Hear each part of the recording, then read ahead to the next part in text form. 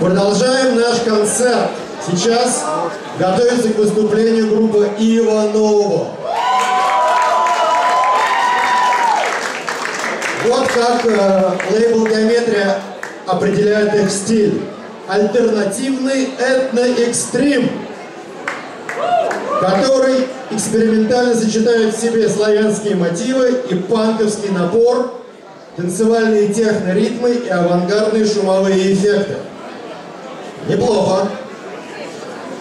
Геометрия уже издала два альбома группы. Сегодня мы услышим новую программу, причем совершенно новую программу, которая уже является частью этого нового альбома.